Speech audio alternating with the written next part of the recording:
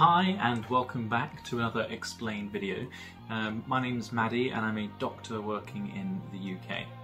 In today's video we're going to be looking at My Hero Academia's All Might. United So today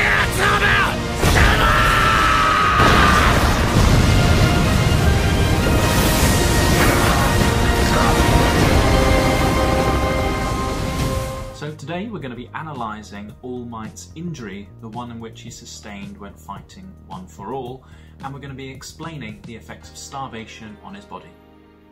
Now, pretty early on in Season 1, we find out that All Might is in fact hiding behind a facade of a muscular physique. Below that, he actually has an emaciated body where he's very skinny and has lost a lot of his weight.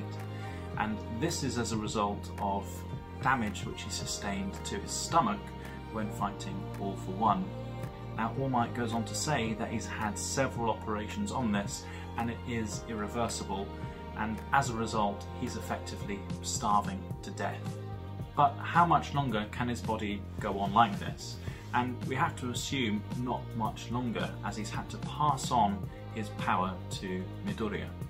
Now, if we looked at a typical 70 kilo average man, we know that he has enough stored calories within his body to last him for at least one to three months. But we don't know how All Might compares to an average man.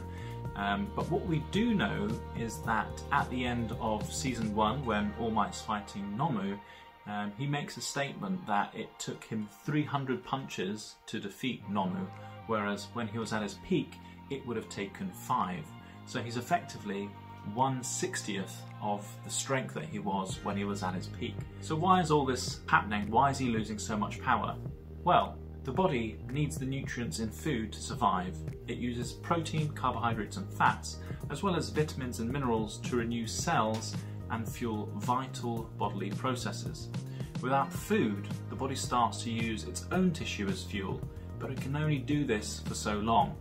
Now, scientists aren't exactly sure how long the human body can go without food, and it's not an experiment that they can ethically perform, allowing people to get to the brink of death just to see what the outcome would be. The best indication that researchers have is by looking at case studies of where people have gone on hunger strike, um, and there's a few cases that we can use as examples. Now I'm sure you're all familiar with the American illusionist David Blaine, who spent 44 days in 2003 suspended in a glass box by the River Thames in London, and he did this all without food. Now, similarly, he lost a dramatic amount of weight, which took his body some time to recover.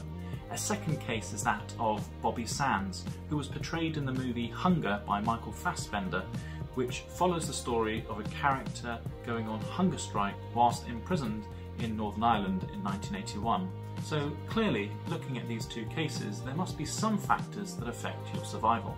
So the factors that might impact your survival are things such as your age, sex, your body size, fitness, general health, and your general activity level. Interestingly, researchers describe that one's mental state can also play an impact on how long you survive. People can go into what's called flight or fight mode, where adrenaline surges through their body. Now, these surges in adrenaline can be really important with how people survive, um, as not everyone responds to life threatening um, scenarios in the same way. In disastrous scenarios, personalities are really important. Whereas some people might catastrophize and lose hope, others are more hopeful and more resourceful. Hope has probably got a key role to play in survival, which explains why All Might is still around.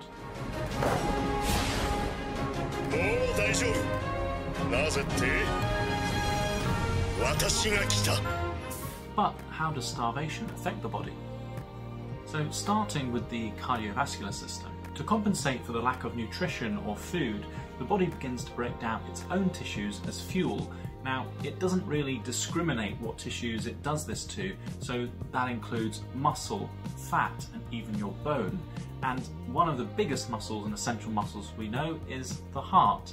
The pulse and blood pressure drop because the heart does not have the fuel that it needs to pump blood around the body as efficiently as normal. This inefficient pumping can lead to heart failure. Next, the gastrointestinal system. Food restriction interferes with how the stomach digests food and how it empties itself.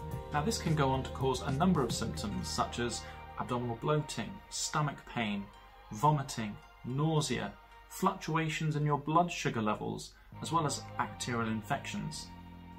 Next, looking at the central nervous system or the brain. Starvation can affect the brain, which consumes up to one fifth of the body's energy. Depriving the brain of energy can result in all number of symptoms, um, and these can spread from things like poor concentration levels, poor memory, difficulties with sleeping. And combined together, all of these factors can begin to affect someone's personality and give rise to behavioural changes from what that person used to be like. And then lastly, we're looking at the hormonal system, otherwise known as the endocrine system of the body. And so this is the body's machine for producing hormones such as testosterone in men or estrogen in women, and you need both cholesterol and fat to produce these. Now, if you have a deficiency in any one of these hormones, your body will begin to change the way it functions. So your core body temperature will go down, which could lead to things like hypothermia.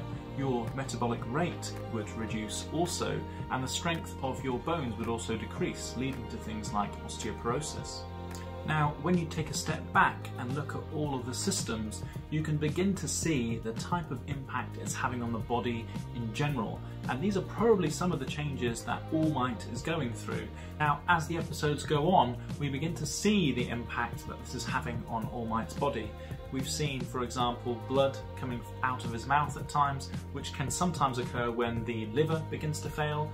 We've also seen that the amount of time that he can spend in his hero form is also reducing, which may be as a result of the weakness of both his heart as well as his metabolic rate being able to keep up with that output. So, is there any hope for him?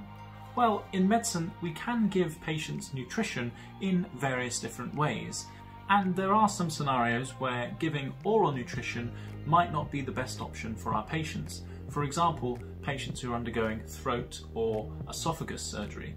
In such patients, the, the, options could be either total parenteral nutrition, which involves delivering nutrition through um, an IV line, and typically that goes in one of the blood vessels up in the neck, or something like a PEG tube or a PEDGE tube, where it's a tube that goes into the stomach or bypasses the stomach to deliver nutrition that way but we haven't really seen My Hero Academia talk about this in any way. So what are All Might's chances? So it's very difficult to compare All Might to an average man and what an average man could survive as he is the number one hero. And he's probably hope personified. So as we said earlier, personalities can impact your survival. So and from my professional point of view, I would say it's probably not much longer if he's now a 60th of what he was. But then again, there is such a thing as anime magic, and uh, he may go on to survive another couple of seasons. Okay, so I hope you found today's video enjoyable um, and informative. Um, if you did like this video, please consider giving us a like and subscribing down below. And you might also want to check out another couple of videos that I've got on my channel breaking down other popular anime. But otherwise, thanks for watching and I'll see you in the next one. Thanks. さらばだワン・フォー・オール